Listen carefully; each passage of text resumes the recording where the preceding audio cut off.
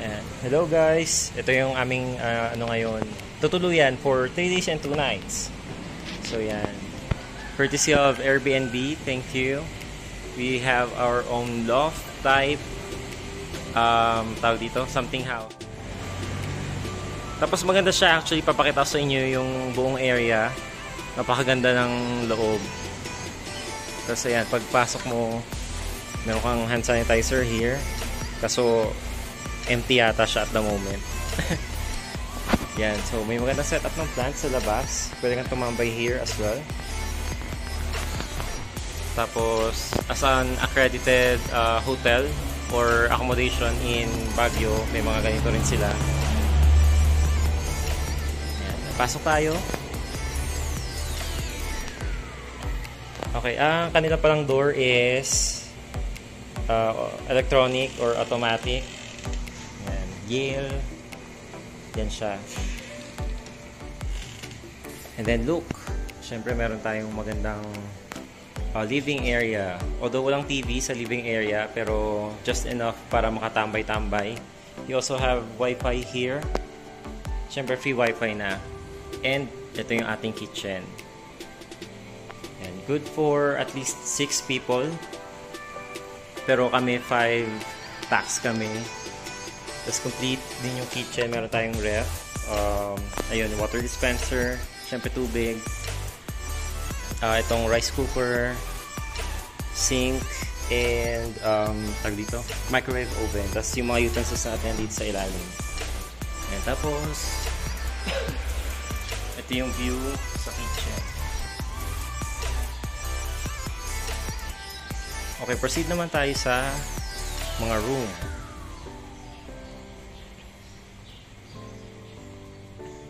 Ayan. So, this is the master's bedroom. Dito kami nakastay ni Jane for 3 days and 2 nights. Ayan, di ba? Ang ganda ng area. Ayan.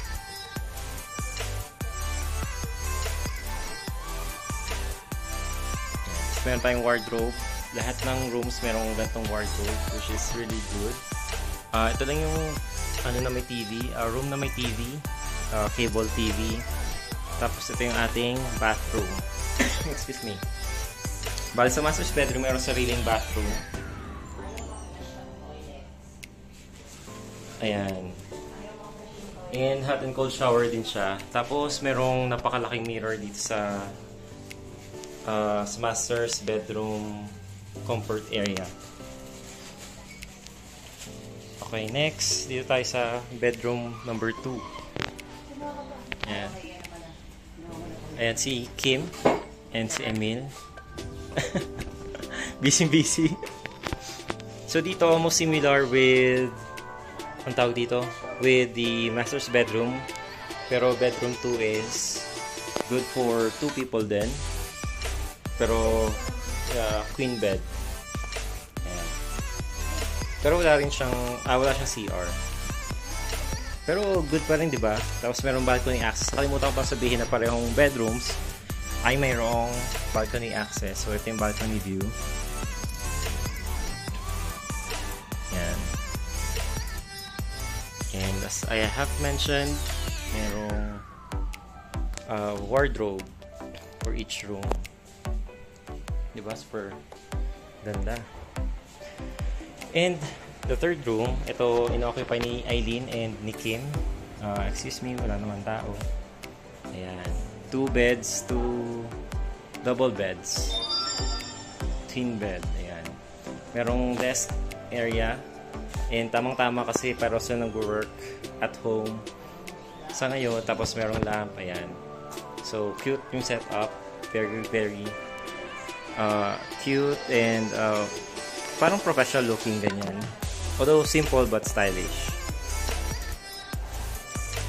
Ayan. As I have mentioned, meron silang uh, wardrobe and tower fan.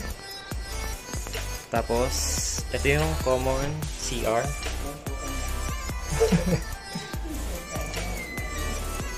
Ayan. Ito yung common, common area, common shower. Ayan, meron ding hot and cold shower. Ayan, so perfect para sa mga gustong magpunta ng Baguio and gustong magkaroon ng good And uh, I mean, one of the best accommodations here na hindi hotel. Uh, ayun si Eileen and si Emil na prepare sila for something. And si Kim. Yan, just, yan. Yan yung ano natin, quick tour sa ating Airbnb.